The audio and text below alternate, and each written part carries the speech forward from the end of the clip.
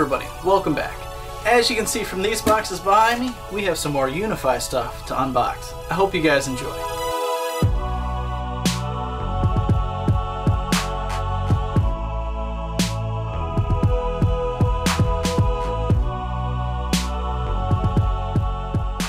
Alright, so to get this uh, kicked off, we're going to start unboxing this one first. Uh, we picked up a UniFi Dream Machine Pro uh, and a Wi-Fi access point. So we're going to do the unboxing of that here. And then we also picked up some VoIP phones. Uh, this is going to be kind of a like UniFi several part series where we go through uh, first thing we're going to unbox this, but then we're going to do the initial setup, how to create VLANs, how to set up the Wi-Fi, how to set up the VoIP on it. So hope you guys enjoy and stick around. Also, if you haven't subscribed yet, uh, hit the subscribe button, hit the thumbs up, hit the bell for notifications, and we'll get into this.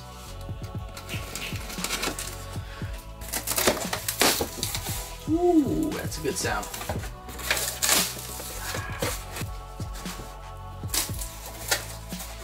Alright, we'll get you guys in here a little closer so you can see what's going on.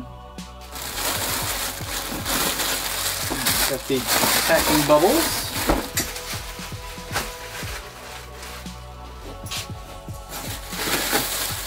Manifest, some more packing bubbles. We have our Nano HD uh, wireless access point. And we have our UniFi network box.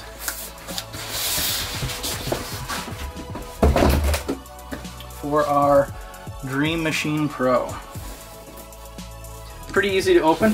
Has a uh, pull tab here. Just pull that.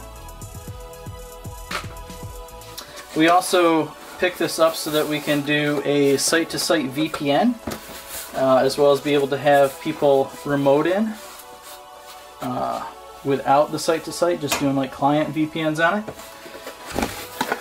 Looks like we got a box for our hardware. Comes with a power cable, so it's got the US plug on it if you're in the US. It's also got the rack rails as well. So if you want to rack mount it, you can. And then this is kind of neat how they package all of the screws. Makes it pretty easy. Comes with the rack screws, comes with screws for mounting the brackets, and then rubber stoppers if you're going to put on a desk or something. It's kind of neat little package that they put that in.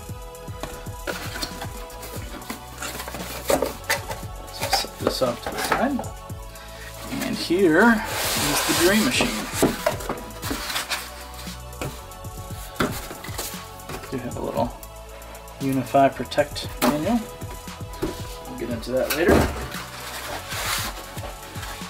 So here's the device, comes with foam packing all around it.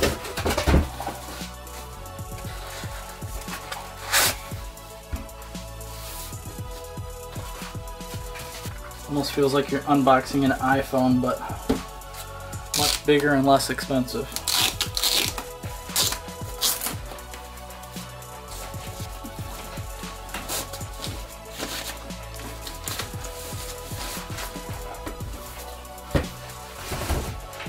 Alright.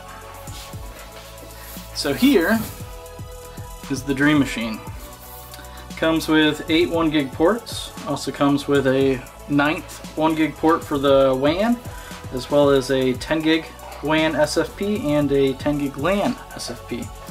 It does have a hard drive bay as well, so that if you want to add a hard drive to it, you can. Uh, that would be for your uh, Protect or if you're going to run security cameras and stuff like that through it. On the back side of the device it has a USB connect connection as well as the power connection that you can run. Uh, it does have a single power supply in it so uh, it doesn't really have redundant power supplies if you're trying to put this in a data center with like an A and a B side power. Uh, that wouldn't work, you'd be better off with putting a UPS uh, or something like that to make sure it doesn't ever lose power. The uh, other thing I noticed too is it has on the front side the spot for the rack rails, not on the back side. So it is uh, only one way you can mount it in a rack. Um, you can't have this as the like the front side of the rails. So kind of disappointing there, but not a deal breaker.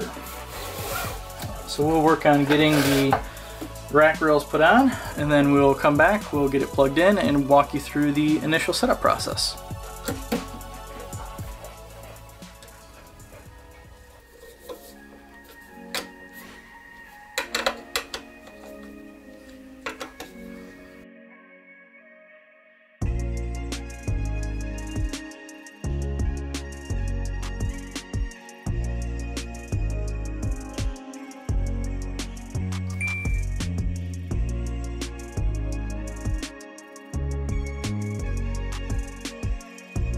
We want to allow it to have permissions. Yes to network devices. And, ooh, it sees the Dream Machine Pro. So we're gonna hit setup.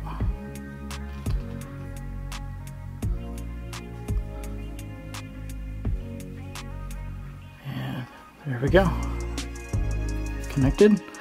We're hit next. I'm going to hit sign in because I already have an account. And now that we got logged in, it's now doing a internet speed test to see what kind of download and upload we are getting.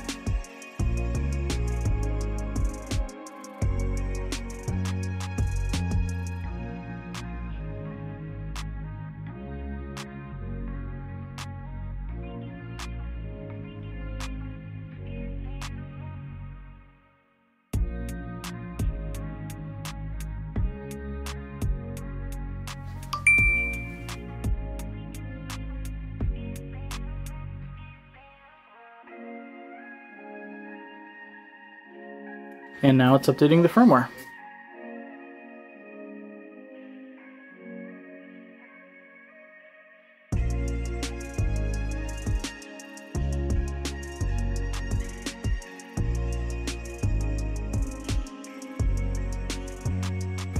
Now that the firmware update is complete, uh, that'll be the end of this video. Uh, if you want, you can plug your laptop in now to look at the web interface, uh, but we'll continue on in that in part two. I hope you guys enjoyed this uh, video of the unboxing and the initial setup. Feel free to like and subscribe, and I'll catch you in the next one.